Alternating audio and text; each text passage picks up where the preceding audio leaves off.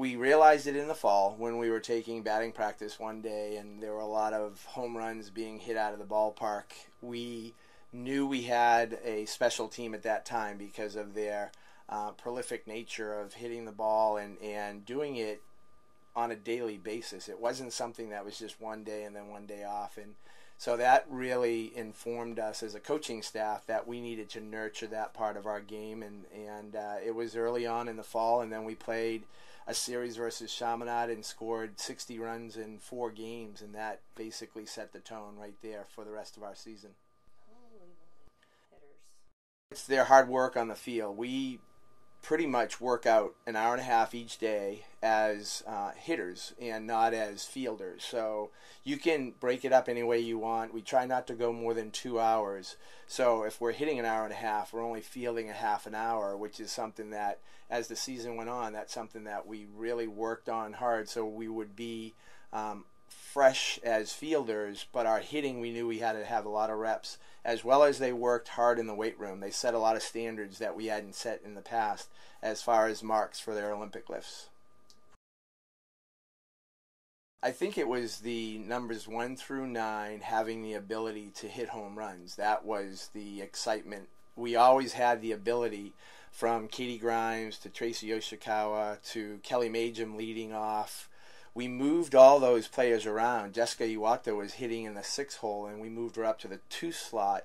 And then once we started moving players around, and we got a lineup that was consistent and complemented each other well, that's when we settled on the lineup of Kelly Majam, Jessica Iwata, uh, Melissa Gonzalez. We moved Amanda Taoli'i down to number eight, and that paved the way for Jenna Rodriguez to be in the number four slot, and she was hitting down in the lineup, up in the lineup, and we didn't really know where to put her until she became the bulldog of the lineup and, and really was the aggressive one in the in the four slot, and that's what you need. The team had been counting down all season long, and it was something that I wasn't really caught up in. I knew we were fast approaching the home run record when we were on the road and we hit 32, 36 home runs on our 11 day road trip and as the season unfolded and as the series kept mounting and we kept hitting home runs, a serious countdown began in the dugout. Everyone knew where we were, and I would be asked, uh, Do you know where you are in the home run count? And I would tell them honestly, I didn't really know. And it came to light at the WAC tournament, is when it really, really took on a different um, force because we were hitting home runs over and over and over again. We had a big game against San Jose State, and then we had another big game uh, as we went into further into the tournament, and then we had a real good game against Fresno, and that's when everything happened. Uh, and and everyone was really excited about the home run that set the record. Early on in the season, we we made some moves. We had some people that were in that weren't producing, and we kept talking to the team about role playing, about waiting for your turn, about being ready for your turn. And everyone that stepped into the lineup when we moved it around made the difference because when they were out of the lineup, they knew they accepted and accepted a new role, uh, whether it be a pinch runner, a pinch hitter, or if someone went down, they were ready defensively. So we never had any let ups in practice. We did have some potential starters that were sitting on the bench that will take over in the future.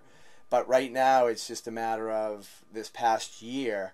The chemistry worked so well. Everyone caught on to the chemistry within our team. We had no drama.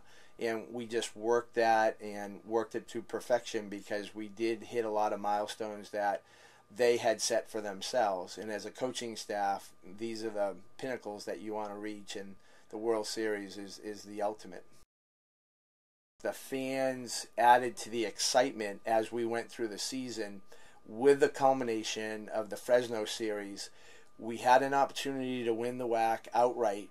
1,200 fans showed up, and it was just sheer bedlam out there with everyone shouting and cheering and we won that first game and, and lost the second game but won the third game and solidified our spot in the WAC tournament. But the fans that came out and supported us along with the psychos that are, are, a group of uh, real fanatical people that that came out and supported us and some of them didn't know what softball was all about until really embracing us and it was just really neat to see all those fans because we had never really had more than 600 people at our games.